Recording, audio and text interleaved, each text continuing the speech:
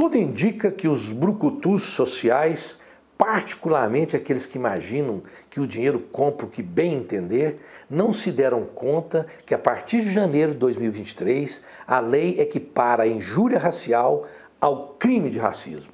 Vou desenhar. Agora, quem pratica atos racistas pode ficar de dois a cinco anos atrás das grades, além de levar multa.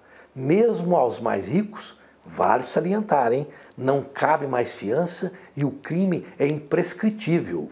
Olho no olho, resumo da ópera.